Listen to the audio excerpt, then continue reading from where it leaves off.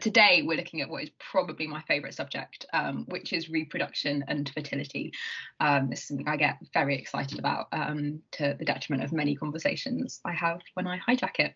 So um, yeah, um, like I said at the beginning, um, do log on to the Socrative room. There'll be questions throughout just to test your knowledge and so that you can kind of gauge how you're doing these are the learning objectives that we're going to cover today. Basically the Oxford syllabus. Um, so it's split roughly into four sections. So fertilization and implantation, pregnancy and the placenta, birth and lactation, and infertility and contraception. Um, so I think it fits quite a, a neat timeline, really, um, down through fertilization to birth, and then kind of what happens if it doesn't all go to plan um, or you don't want a pregnancy. So, yeah, we're going to start off with fertilization and implantation, uh, which is the logical place to start. So, also um, if you have any questions i will be watching the chat so do just message into the chat. And equally my main feedback from last week is going too quickly. So if i'm going too quickly please do put it into the chat because i do cook quite quickly and there's also quite a lot to get through this evening. Um, but i'm so happy to go back over things so do just let me know um, just by putting a message in um, or putting a hand up or unmuting yourself and we can take the pace a bit slower. So first step, I would say, is ovulation. So on day 14 of the menstrual cycle, you get high LH and estrogen levels, um, which cause release of an oocyte and the surrounding granulosa cells, um, which is known as the cumulus matrix, into the peritoneal cavity. So from the ovaries into the peritoneal cavity, and then here it's then picked up um, by the fimbriae of the fallopian tubes, which you can just see on the the slide here. Um, and then the cilia in the fallopian tubes waft it down um, further down the ampulla into the isthmus. Now, you obviously only get pregnancy is if ovulation kind of coincides with sexual intercourse. So it, it doesn't have to be exactly on the day. Um, so sperm can live in the female reproductive tract for up to five days. So sex anytime up to five days before ovulation can result in fertilization but the egg only survives 24 hours um, in the female reproductive tract once it's been released. Um, so you've kind of got that time window um, in which um, fertilization needs to occur. Um, there are three main phases um, to the male sexual act, um, and it's quite, they often like asking this question because it's all different parts of the nervous system. Um, so, point and shoot is the way I was taught. Um, so, erection point um, is due to arteriolar vasodilation, and that's the parasympathetic nervous system, so P. emission, shoot, movement of the ejaculate into the prostatic urethra, which is the sympathetic, so S. Um, and then ejaculation um, is movement from the prostatic urethra out of the penis, um, and that's under somatic nervous control by the pudendal nerve. With each ejaculation, about 200 million sperm are released into the female reproductive tract.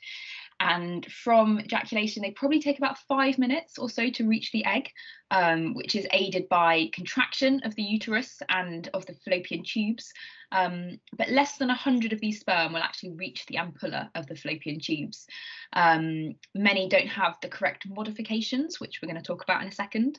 Um, sometimes the female immune system will engulf them, or they just go the wrong way. Um, so, yeah, very few sperm actually reach where they're needed to be um, for fertilization. So once sperm are in the female reproductive tract, they undergo an important set of changes known as capacitation. So it's kind of got a weird definition, but capacitation is essentially any changes required for the sperm to be able to fertilize the egg. So this is a variety of things. So sperm have hyperactivated motility, um, which means their tails take on a kind of whiplash-like motion, um, and they lose some cholesterol from their membrane heads, and there's a series of biochemical reactions happening inside them. And essentially, at the end of capacitation, what you get is the acrosome reaction. So this is because the egg has an outer covering called the zona pellucida, and this is made of glycoproteins. And so in order for the sperm to reach the egg, it needs to break down this zona pellucida. So the sperm has this acrosome, which contains hydrolytic enzymes. And so when sperm receptors bind to ZP3 on the oocyte, the membranes of the acrosome and the sperm fuse. So the acrosome enzymes are released to the outside, and these are hydrolytic, so they break down the zona pellucida. Once this breakdown has happened, the sperm is able to penetrate the zona and the membranes of the sperm and the oocyte fuse. The contents of the sperm enters the egg and one of the really important contents is the enzyme PLC zeta, um, which again, if you take the reproductive option next year, you will hear no end about. Um, and so this is a phospholipase C, as it sounds, so it's phospholipase C zeta, um, that induces calcium waves to occur in the egg. Like most incidences in biology, these calcium waves set off a chain of reactions. So one of the first ones of these is known as the cortical reaction. So there are a series of granules just under the membrane of the oocyte. And when the calcium waves start, these granules fuse and cross-link the zona pellucida. And this prevents any sperm penetrating, um, any more sperm. So it's known sometimes as the block to polyspermy, because um, obviously you only want one sperm and one set of genetic material per oocyte. Once the cortical granule reaction has happened, um, you get meiosis resuming in the egg. So until now, the oocyte has been arrested in metaphase of meiosis 2. But when you get these sequential calcium waves, what happens is meiosis resumes, you get formation of the second polar body, and then the pronuclei from the sperm and the egg are able to fuse and form the zygote, which is the new cell. So that's fertilization. Um, it normally happens around the ampulla of the fallopian tubes. Um, and of course, it doesn't stay there. Um, through sequential days, um, the zygote moves down and it undergoes a set of cleavages. It probably remains in the fallopian tube for about 72 hours, um, where it eventually develops into the morula, um, which you can see around day three to four, um, and you've got a uncompacted and a compacted morula. And then it begins to move into the uterine cavity, where after six to seven days or so, or just slightly later, um, it implants itself in the endometrium. So in order to think about implantation, it's important to think about what the endometrium is like around the time that implantation would happen. So we're about seven days after ovulation, because um, like we said, ovulation, and then you've got seven days for it to travel down the fallopian tubes and into the uterus. And we've got the secretory phase um, of the endometrial cycle because high progesterone levels stimulate uterine gland secretion. So this provides a nutrient-rich environment which facilitates implantation of the blastocyst. The progesterone produced um, is from the corpus luteum, which you can just see over the top um, in the column labelled follicular development. Um, and this is just the remainder of the follicle that the egg released at ovulation um, came from. In a usual menstrual cycle, um, this corpus luteum would eventually break down, um, which induces a drop in progesterone. And so that's why you get menstruation and the lining breaks away. But what happens is that once the blastocyst is implanted, it secretes HCG, um, HCG being the hormone that pregnancy tests pick up. And this maintains the corpus luteum, so progesterone secretion is continued, um, which maintains the lining so the blastocyst is able to implant until eventually later on in pregnancy, the placenta produces enough progesterone that HCG levels can drop and the corpus luteum isn't needed. But this leaves quite a short implantation window um, because obviously you want to you want implantation to occur while the corpus luteum is still present. So you're seven days post ovulation already, and you want to be before the kind of 24, 25 days when the um, corpus luteum starts to break down. So that's quite a narrow window. Um, so when you think about the number of sperm reaching the uterine cavity and reaching the fallopian tubes, when you think about implantation happening at the right moment, um, when people say babies are miracles, in many ways they really are, because actually a lot of blockages um, that could happen before pregnancy is established, um, which is defined as the implantation into the endometrium. So this is looking at actual implantation. So we've talked about kind of what's needed for implantation. Um, actual implantation is the action of the trophoblast cells, which you can see around the outside of the blastocyst here. At this stage, the blastocyst is made of an inner cell mass, which will eventually form the embryo, um, and the outer layer of trophoblast cells. So these first adhere to the wall of the uterus, and then they penetrate the epithelium and trigger what's called the decidual reaction. The decidual reaction involves the uterine stroma becoming enlarged and filled with glycogen, um, and this is what nourishes the blastocyst until the placenta is able to form. Whilst implantation most commonly occurs on the upper posterior part of the uterus, um, this isn't always the case. Um, I'm sure you've all heard of an ectopic pregnancy, um, which is a condition where the blastocyst out, attaches outside the main body of the uterus um, and most commonly attaches in the fallopian tubes. And because as you think, it has to travel down the fallopian tubes, and if it doesn't get that far, it can often implant early. This is relatively common, occurring in one in 80 pregnancies, and it's a medical emergency because you can get rupture of an ectopic pregnancy and life threatening hemorrhage which means that if you as clinicians ever have a woman presenting to A&E with abdominal pain, the first thing you do is a pregnancy test um, to rule out an ectopic pregnancy. So we've got a blastocyst in place and pregnancy established. Um, so we're going to talk about pregnancy in a second, but if you want to whip over to Socrative, we're just going to go through the first couple of questions.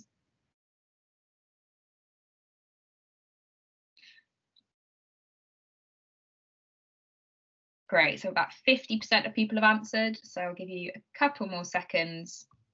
If you want the name, if you missed what the name is, it's, I'll type it in the chat. Um, come on, I think it's been very slow. It's Canso 676 and let's have a look. Show results. Perfect, 100% there. Right, the next part. Where does fertilization most commonly occur?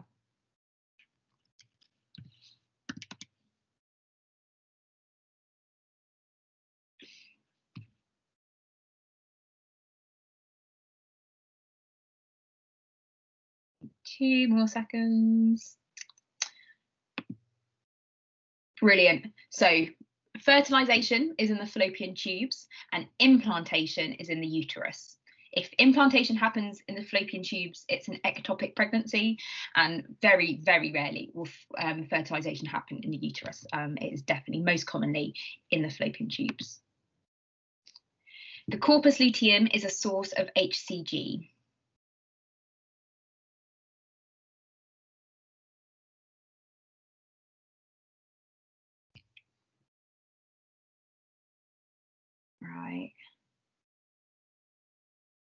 Let's have a look. False. Okay, perfect. Most of you got it right. So for those of you who put true, what happens is the corpus luteum produces progesterone, and normally it's LH um, that induces this um, that continues the progesterone secretion from the corpus luteum.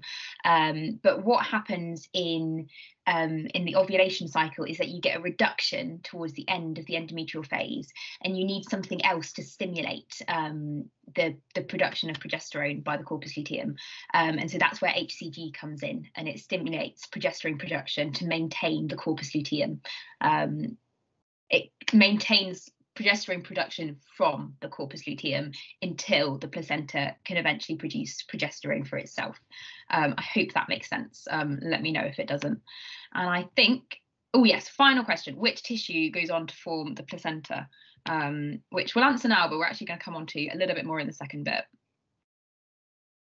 So don't worry if you don't know this one yet, because um, this is what we're about to move on to. Trophoblast. Perfect. So yeah, the trophoblast tissue is what goes on to talk, to form the placenta. So we've got to implantation. Um, oh, got someone typing. I just say it because it's quicker. Uh, you know, for the menstrual cycle diagram, I was yeah. a little bit confused.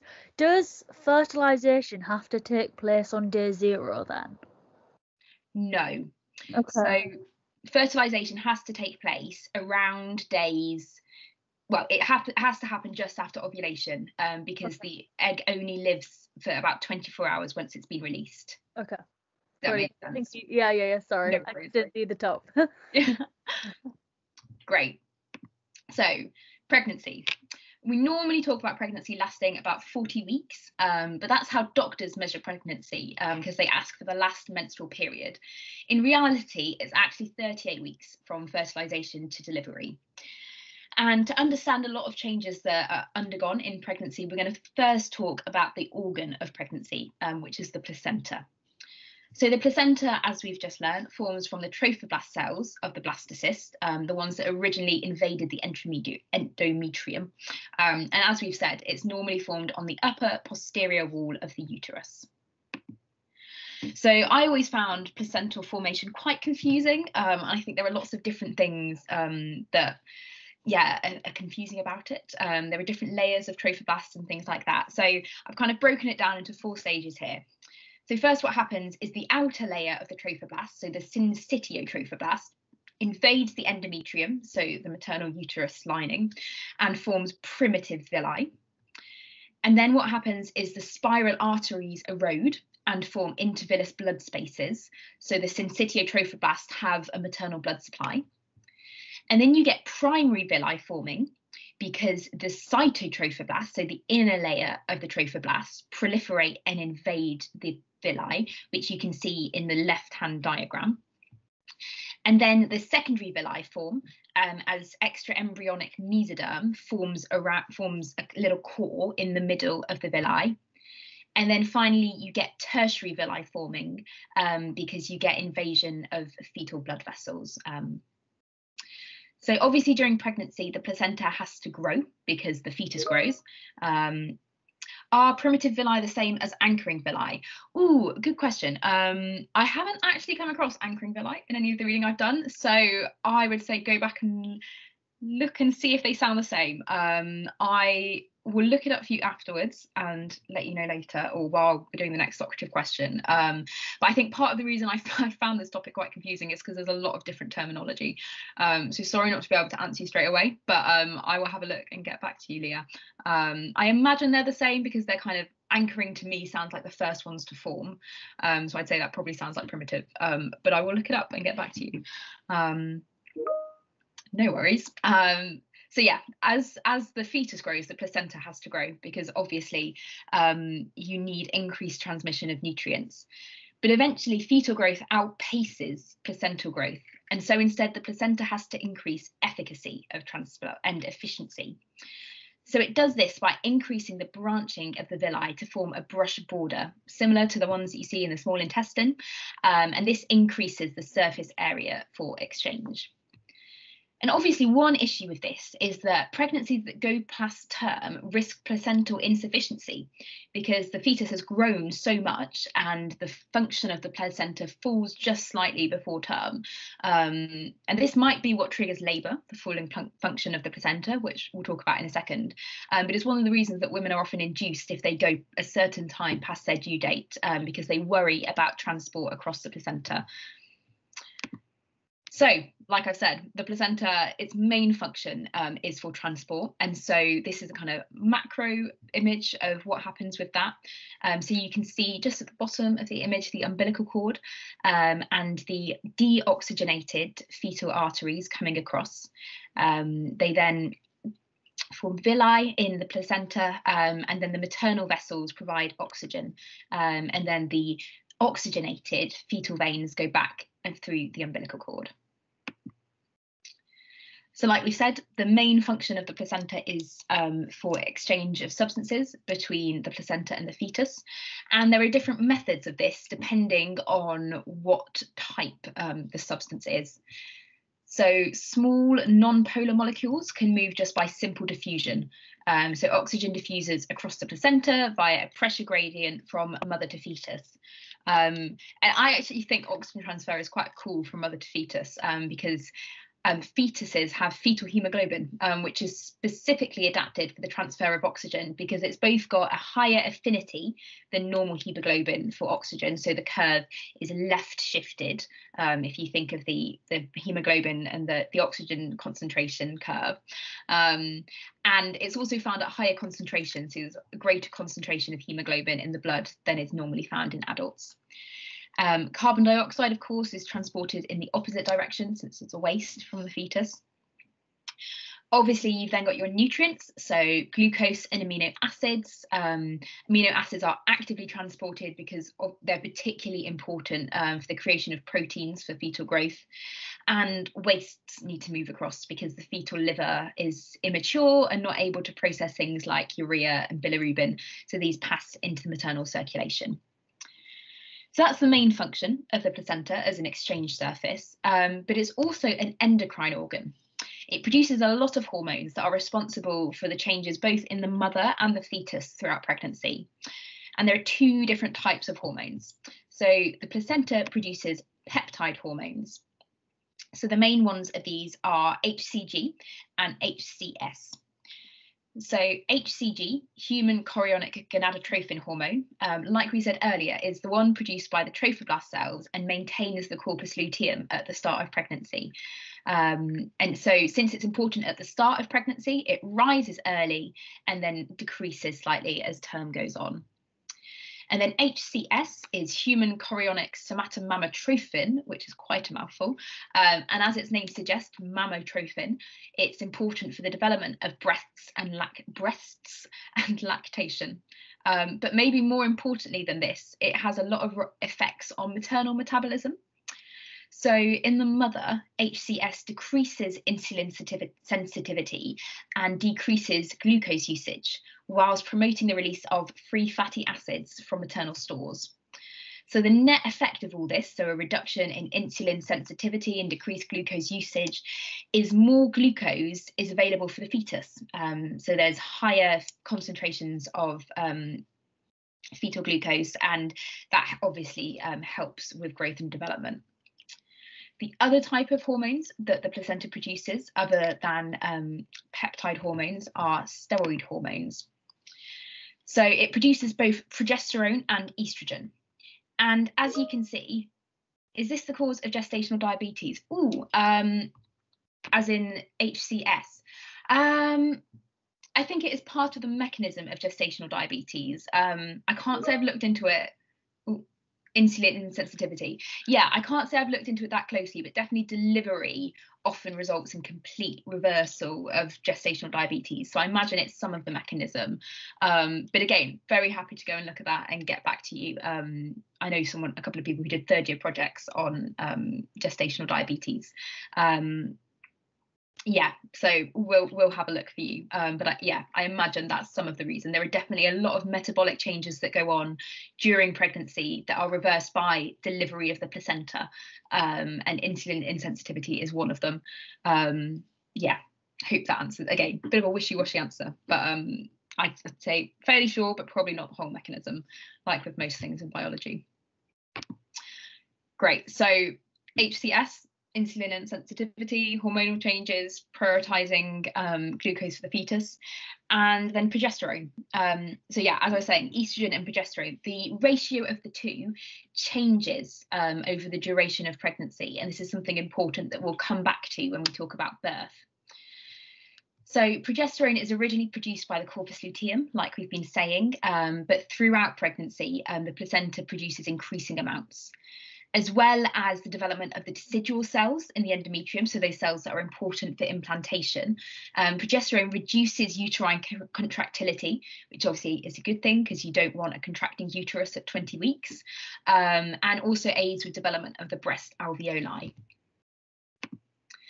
The other steroid hormone is estrogen or the estrogens because there's more than one. Um, and these cause growth of the uterus to accommodate the growth of the baby. They relax the pelvic ligaments, which are important for the passage of baby at birth, and they're responsible for the growth of the breast ducts. So it's important to say that the, project, the placenta alone doesn't produce estrogen. Um, so like I said, there's not just one estrogen, there are three different types. So estradiol, estrone and estriol. So estradiol is the most, um, the strongest, most potent one, um, though I don't think you're really going to be asked for the difference between the three. Um, so it, this is where the, the idea of the feto maternal placental fetal unit, I don't think there's a right way to put those three, um, comes into play. So the placenta has the enzymes in which to produce these estrogens, but it doesn't have the precursors. So what you get is the maternal and fetal adrenal glands producing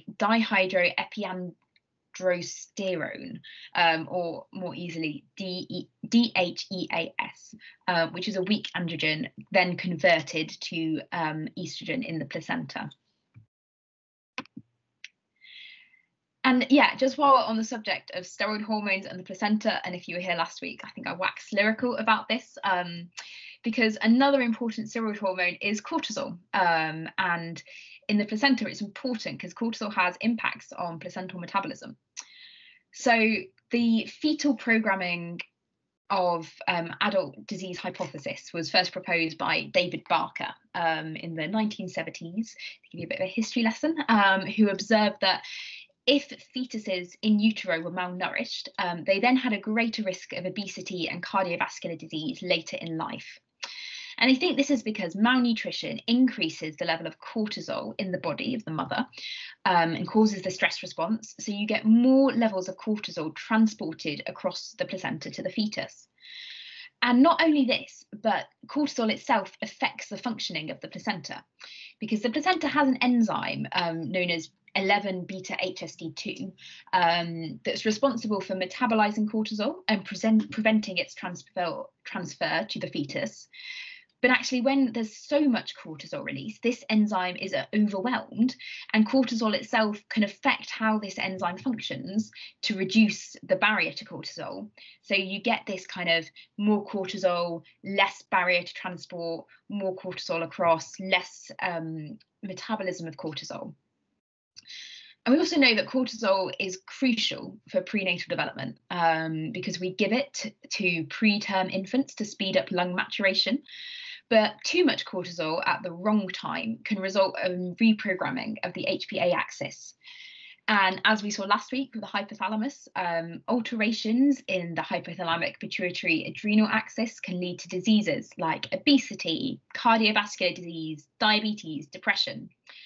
So, in some ways, it's important to know whether giving preterm infants cortisol is going to put them at greater risk of later life disease.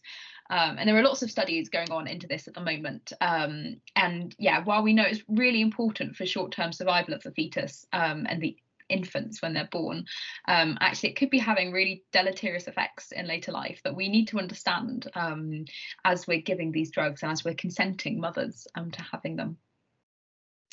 So that's one thing that can go wrong, too much stress. Obviously, there are things that can go wrong with the placenta itself in the short term. So a common condition is preeclampsia, um, which occurs in 3% of pregnancies. So this is a triad of hypertension, proteinuria, so protein in the urine, and edema. Left untreated, preeclampsia develops to eclampsia, um, which is where women have seizures and they often die. And it's one of the leading cause of maternal mortality across much of the world. So, women with preeclampsia are closely monitored and often delivered early because delivery of the placenta completely reverses this hypertension, proteinuria, edema. And I think the placenta is involved um, because the condition is more common in twin pregnancies or in molar pregnancies. Um, a molar pregnancy being where there's lots and lots of trophoblast tissue and you don't get formation of the fetus in quite or the blastocyst itself in quite the right way. Um, and the current hypothesis is that the trophoblast cells, so when the placenta is forming, don't properly invade the spiral arteries of the mother. And so you get reduced blood through, flow through the placenta. So the placenta is insufficient to provide the fetus with nutrients. Um, so yeah, that's a common condition that's worth knowing about because um, it's important that these women are monitored. And then you can get the opposite. So if preeclampsia is failure to invade properly, um, you can get an abnormally invasive placenta. And you don't need to know all these, um, but if you're interested, these are the different um, conditions you get when the placenta either attaches attaches simply to the myometrium, so the muscle layer of the uterus, when it invades the myometrium, or when it invades the serosa, you can also get a cancer of placental origin, um, which is known as a choriocarcinoma. Um, and this is a rapidly spreading cancer, but treatable with chemotherapy. So these are the things that can go wrong with the placenta in the long term with cortisol transport, um, but in the short term with preeclampsia and abnormally invasive placentas. But as we sadly know, in lots of pregnancies, you can get abnormalities of the fetus. Um, and this occurs in about 2 to 3% of pregnancies in the UK. Prenatal testing can be used for making decisions regarding the pregnancy, um, such as whether to continue, as well as just preparing the parents for the circumstances of birth. And on the Oxford syllabus, you need to know some of the ways that we diagnose conditions in utero. So there are two invasive types, um, and this is chorionic villus sampling and amniocentesis. These sample either the trophoblast cells or the amniotic fluid. The reason that amniocentesis is done slightly later is it takes slightly more time for sufficient am amniotic fluid to build up so that there's a reduced damage uh, risk to the placenta. Um, because both these conditions, because they're invasive, are associated with a 1 to 2% risk of miscarriage. At the moment, the main tests carried out for these are the trisomies, so Downs, Edwards, and Patau's. Um, but I think increasingly, as we see genetic screening increasing, we're going to see lots more conditions um, um, screened with these tests. The third one on this diagram are ultrasounds, and these are routinely offered to women in pregnancy with a very high uptake rate as opposed to CVS and amniocentesis because they're non-invasive. Um, but because they're only imaging, um, not genetic testing, they can't pick up genetic disease. Instead, you're looking for things um, that are more structural, so cleft lip, spina bifida, other congenital conditions. And the uptake of ultrasound is obviously greater because it's got a non-invasive risk. But recently, um, another non-invasive technique has been developed that allows for genetic testing as well. And this is known as cell-free DNA. So we've talked about the placenta being an exchange organ. And one thing that it can also exchange is a small amount of cell-free DNA from the fetus to the maternal circulation. And because of the rapid boom in genome sequencing we've seen recently, we're able to sequence the maternal blood. So, just with a simple blood test, they're able to differentiate between maternal DNA and fetal DNA and test for all sorts of genetic conditions. So this has got a potential for a really big rollout because it's done by a simple blood test. And yes, genetic um, sequencing is still expensive and slightly prohibited at the moment, but I think the technology is going to come down a lot in price. And it's the kind of thing that there's a lot of ethical questions about having a test that makes it more easy to screen for conditions that aren't necessarily life threatening, but may be seen as serious conditions and may be considering maybe grounds to consider a termination of pregnancy. So there's, I had an ethics class this morning actually where we were talking about some of this. Um, I think it's a really interesting question to think about anyway, enough of the wishy-washy ethics. Um, before we talk about birth and lactation, um, which is the next bit, um, we're just going to do a couple more Socrative questions. So if you want to head on over, and again, if you have any questions, do just pop them in the chat. I'm very happy to answer them, though again, you know, they might be slightly wishy-washy if I don't know the answer. So what is the steroid required? Oh yeah, what steroid is required by the placenta for estrogen production? So this is the one with a long name that I wasn't very good at pronouncing. Yeah, you guys have got it. D-H-E-A-S. Well done. No one's gone for the full name, which, to be honest, I don't think I'd know either. Ah, and this one, I hope I've not left the slide up. Name some methods of prenatal genetic diagnosis. I suppose the other thing to mention, um, just while you type out some answers, um, and we'll look at slightly more towards the end of the lecture, um, is we're now doing increasingly um, pre-implantation diagnosis. Um, so you've probably come across it where cells are taken from the embryo in IVF before it's implanted. And from this, you can choose which embryos to implant. Um, and actually, my discussion in my ethics class this morning was should we be allowing sex selection of these embryos since, you know, it's not terminating an established pregnancy, it's just choosing to implant, you know, an, an embryo of one sex over the other. Um, and what are the ethics of that? Um, I disagree quite vehemently, but um, if you want to talk more, feel free to message me. Great. So don't answer that question yet. We're going to come on to it in a second. So parturition, birth. Um, so before we talk about how the baby is born, it's probably worth thinking about the timing of birth. As we've said, we think about pregnancy as lasting 40 weeks, um, but rarely, rarely, rarely are babies ever born on their due date. Um, it's well known. Um, the exact nature and trigger for birth isn't entirely known at the moment still, which I think is really interesting. Um, but what we are fairly sure on is that the fetus has a role in determining when it's born. As we've said, the fetus outgrows the placenta eventually, um, so that would be a stimulus for birth, obviously. Um, and talking about steroid hormones, there's an increase in fetal cortisol production um, just prior to birth. And we think these are just two of the factors that are important in determining when birth occurs. So, birth itself, um, again, it comes back to hormones. Um, so as I mentioned earlier, it's really important to think about the ratio of estrogen to progesterone. So if I can go back to the earlier slide, um, throughout most of the pregnancy, um, up until about 24 weeks or so, you've got more progesterone than estrogen. Um, and as we've said, progesterone prevents uterine contractility. But what happens um, leading up to birth is you get less progesterone relaxing the uterus and more estrogen, which increases the number of gap junctions in the uterus and increases ex excitability. Estrogen also stimulates production of the prostaglandins, which do exactly the same. Um, and in fact, when women go past term and need inducing, prostaglandin pessaries are often given to stimulate contractions. The other important hormone is one produced by the posterior pituitary gland, and that's oxytocin. And this is involved in a positive feedback loop. Um, so towards the end of the pregnancy, the baby's head starts to stretch on the cervix because obviously it twists so that it's head down. And this induces what's known as the Ferguson reflex. So stretching of the cervix induces oxytocin release, which stimulates uterine contractions, which further pushes the head of the baby down on the cervix, stretching it more, more oxytocin release, and you get this loop until eventually the baby is born. Oxytocin is involved in another positive feedback loop, um, which is lactation. So the milk ejection reflex occurs when the baby suckles. So suckling initially doesn't involve uh, doesn't result in milk release, um, but that's because suckling is needed to stimulate oxytocin secretion from the posterior pituitary again, which acts on the myoepithelial cells of the breast, so the muscle cells and ducts, and this moves milk from the alveoli to the ducts.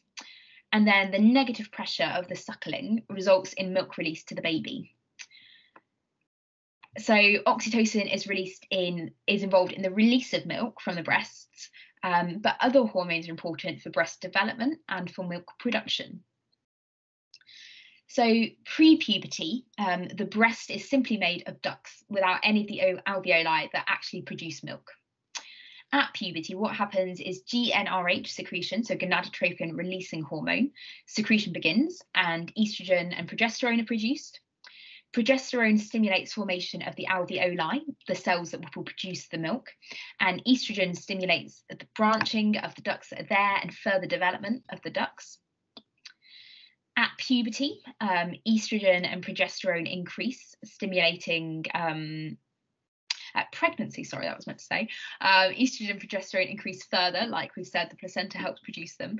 Um, but you also get additional hormones, so HPL um, and prolactin, which ensure the breasts are ready for milk production and breastfeeding. HPL is human placental lactogen. Um, and whilst progesterone and estrogen are crucial for the development of breasts, they actually inhibit secretion of milk. So only a small amount of milk is secreted up until the baby's born. When the placenta is delivered, the inhibiting effects of estrogen and progesterone are removed and milk production begins properly. The first milk produced by the mother is known as colostrum, and this is different to the milk produced for the rest of breastfeeding because it's got a lot lower fat content but higher titers of the antibody IgA, and this helps the neonatal immune system.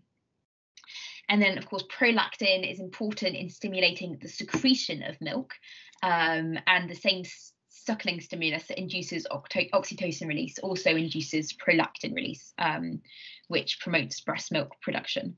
Um, so, oxytocin, before we move on to the last section, um, the Oxford syllabus talks about the role of oxytocin in sexual and reproductive behaviours, which I think is quite a vague thing um, because we don't exactly know exactly what oxytocin, how it works, what it's involved in.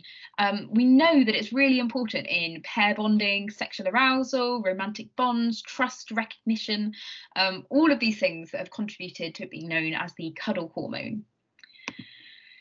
You've probably, if you study at Oxford, have heard a lot about it in relation to prairie voles. Um, so yeah, prairie voles have um, a high density of oxytocin receptors in their um, reward system. So they are literally addicted to um, social bonding and social contact. Um, but lots of the studies done in humans use nasal oxytocin to measure effects. Um, but these are really problematic um, because we don't actually know how much of this oxytocin reaches the brain, whether it reaches the brain in high enough concentrations to have an effect. Um, so until then, we know a lot about its physiological effects. So we've talked about the Ferguson reflex and the milk ejection reflex. Um, but it's quite hard to say um, whether it's going to be important in conditions where there is disrupted social bonding, so things like depression, anxiety, and autism.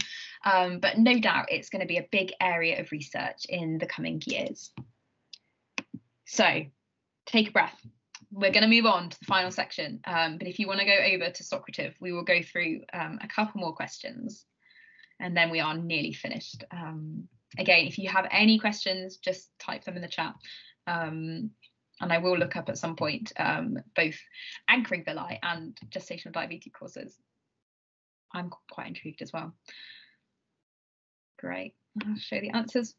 False. Yeah, so a rise in the progesterone to estrogen ratio. So progesterone is the one that um, relaxes the uterus, and obviously, as you get towards birth, you don't want relaxation; you want contraction of the uterus, um, so you get more um, estrogen.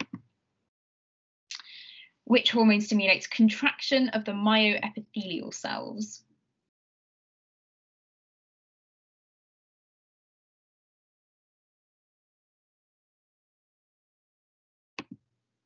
Yeah, oxytocin. So prolactin stimulates milk production, um, but just like oxytocin stimulates, think of oxytocin as stimulating contraction. So contraction of the uterus, contraction of the myoepithelial cells in the ducts. Um, prolactin is more on the production of milk itself. Great, and I think fairly sure the next question. Yeah, don't answer that one yet. We're gonna move on. Um, so we've gone all the way through from fertilization, implantation, pregnancy, birth, lactation, um, and all of that seems fairly smooth. Um, but actually, we know as doctors that it's a lot more complex of that. Um, we're to look just briefly now on the subject of infertility um, and on contraceptive methods. So, what we do when we want a pregnancy, but it's not happening, um, and what we do to prevent unwanted pregnancies. So before we talk about infertility, it's quite useful to think about the HPG, the hypothalamic pituitary gonadal axis. So the hypothalamus starts releasing pulses of gonadotropin releasing hormone at puberty, and this stimulates secretion of LH and FSH from the anterior pituitary gland. These then act on the gonads in both male and female to cause sexual development and production of the sex steroids, um, so estrogen, progesterone, testosterone, which then has a negative feedback effect to reduce the secretion of the hypothalamic and pituitary hormones, except as we know at day 14 of the menstrual cycle, where there is a positive feedback loop from estrogen to result in an LH surge, which is what eventually triggers ovulation. So when we think about infertility, it's useful to distinguish changes in this axis here, so the HPG axis, and how sperm or uh, ovulation may be affected, um, with those that affect the anatomy of the genital tract, with those iatrogenic changes, so those induced by medications or by doctors. So infertility is a big problem about one in seven couples will have issues conceiving. And it's not just problems with women. In 40% of couples, actually, infertility disorders are found in both males and females. And in 25%, there is no identifiable reason, which you imagine for couples who are desperate to have a baby, this is really, really frustrating. So this table I've just created from the NICE website, um, it kind of lists the main disorders of infertility. The most common are ovulation disorders, um, and these are 25% of infertility cases. The most common of these is PCOS, so polycystic ovarian syndrome. We understand this condition far less than we need to to be able to treat the many, many women that suffer with it. Um, but it's it's involved in a disruption in the HPG axis. axis. Um, so, like we said earlier, you'll get disrupted ovulation. Other ovulation disorders um, include ones that inhibit GnRH release, um, so things like low BMI, which is part of the stress response, um, and Kallmann syndrome, um, where the neurons that eventually produce GnRH fail to migrate um, during neuronal development. Or um, ovarian failure, which is where follicles just stop forming. There are obviously issues with sperm production as well, um, so failure of the testes to descend, so cryptical, cryptorchidism, um, similar issues with the hypothalamus, you can get Kallmann's in men as well, um, or trauma to the testes. You then got the structural defects, um, so things in the uterus. So if you've got a uterine fibroid, um, that can impair implantation, um, or you can get obstruction to the vas deferens, so sperm can't come out. Um, which again, both of these can be used um, as methods of contraception, um, as well as can be causes of infertility. And I think finally, it's important to note that a lot of drugs can impair fertility. The obvious ones are contraceptive drugs, because that's the aim. Um, but there are also things like diuretics, so spironolactone, and importantly, chemotherapy. And um, I was involved in my research project last year. There's a lot of research going on at the moment as to how to preserve fertility in teenage cancer patients. Because obviously, chemotherapy um, it targets rapidly growing cells. And so in men will target the sperm um, and in women will target those developing follicles and the kind of granulosa cells around them. Um, and because cancer survival rates are increasing um, particularly in teenagers we're seeing increasingly um, chemotherapy mediated infertility become a problem. Um, and so lots of people are trying to work out how to preserve fertility in young patients who have to undergo chemo or radio so what do we do to treat infertility? Um, this is where art comes in, so assisted reproductive technologies, not my least favourite GCSE subject. Um, the main one you'll have heard of is IVF, um, classic in vitro fertilisation, um, which brought about the first test tube baby in the 1980s. This process involves collecting sperm and eggs from a couple, mixing them in a test tube or petri dish, um, and then implanting the embryos into the woman or into a surrogate at a later date. But this is by far from the only way of assisting fertility. So you can get IUI, um, intrauterine insemination, um, where sperm are directly injected into the female reproductive tract. And this is often used um, when there's a problem only with the sperm um, and donor sperm are being used. There's ICSI, um, intracytoplasmic sperm injection, um, which is often done alongside IVF.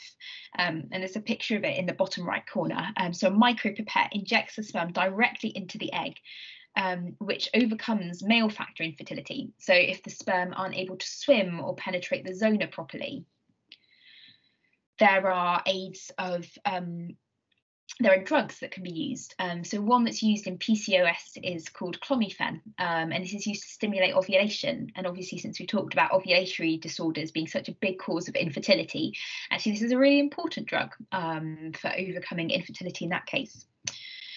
And obviously, you've got surgery if there's a structural problem. Um, and in cases where couples aren't able to conceive via any of these techniques, obviously, surrogacy can be used either with donor gametes or parental gametes.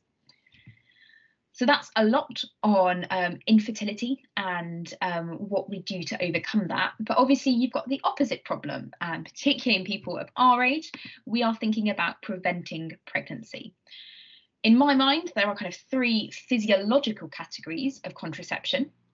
So the first and most commonly used are barrier ones. So condoms, male or female, internal or external, or the diaphragm pair typical use, these are less effective than other ways because many typical use is not a very safe use of a condom. Um, so they're normally about 80% effective in preventing pregnancy. Um, but they are by far the best and probably only way to prevent against STIs. So they are really important. You've then got hormonal contraception. So going back to the HPG axis, um, ones that alter that so in women, you've got the pill, so either progesterone only or combined progesterone and estrogen. Um, and recently, importantly for patients, actually, there's been lots of advances in the ways in which the pill can be taken. Um, the standard one is one pill for 21 days and then a seven day break and withdrawal bleed. But you can take a pill with a shortened break or no breaks at all, which is really beneficial for women who don't enjoy having a withdrawal bleed. You can get an IUS, um, which is a coil, and this releases progesterone into the uterus and has less systemic side effects because the hormones only release directly into the uterus rather than into the it's a pill and into the systemic circulation. Um, or a copper IUD, which alters the cervical mucus um, to impl- um, impair sperm passage and makes implantation more difficult. And you know, as I said, I love talking about reproduction. One of the big bugbears is the issue of male contraception. Um, it's one of the big mysteries. So, whilst female contraception has gone leaps and bounds since the introduction of the pill, male contraception has not changed. Um, condoms and vasectomy remain the two main ways of preventing pregnancy on a kind of male burden side. The male pill is an interesting one because the main way of reducing sperm production would be to inhibit testosterone. But this comes with really unpleasant side effects for men. Um, so, muscle loss, fatigue, mood changes. Research is currently looking at giving synthetic testosterone along with progesterone, which would stop the testes producing testosterone, so via the progesterone, and so stop normal sperm production, but keep the kind of systemic levels of testosterone normal in the blood. But at the moment, this isn't effective um, to prevent pregnancy. So there's still a lot of research going on to this area. Um, and you really hope in the next few years they might see some good results starting to come out. And then in the final column, you've got the permanent methods um, of sterilisation of preventing pregnancy. So cutting, sealing, or blocking off either the fallopian tubes or the vas deferens, which are usually only done if there's no doubt um, about having any children in the future. So these are what I think of as the physiological um, types of contraception, so barrier hormone and sterilization. But actually thinking as doctors, there are two important categories, not three.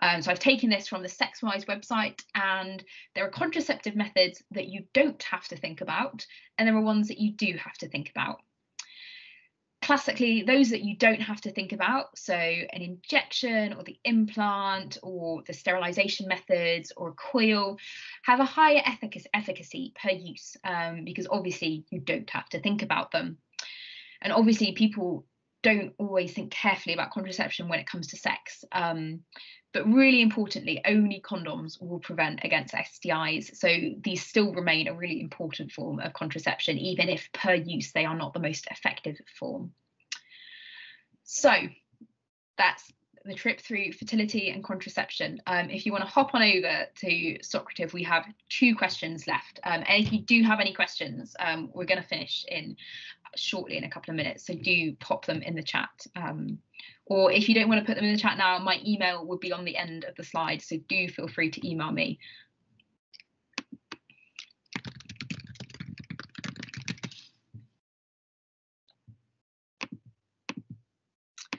So, oh yeah, this is an interesting question. Which contraceptive method is least effective per typical use?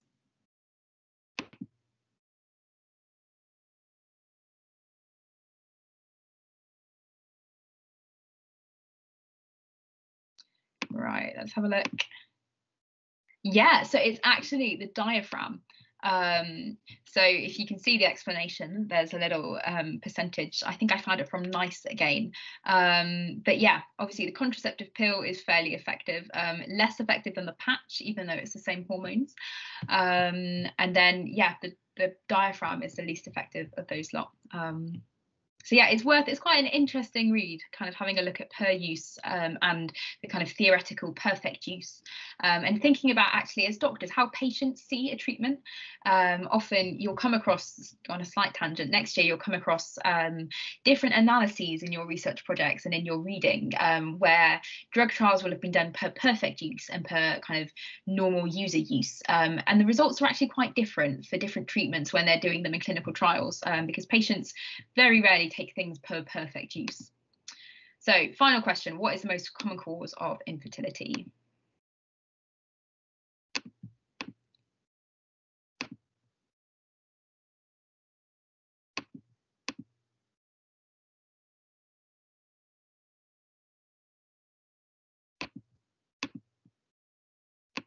Let's have a look.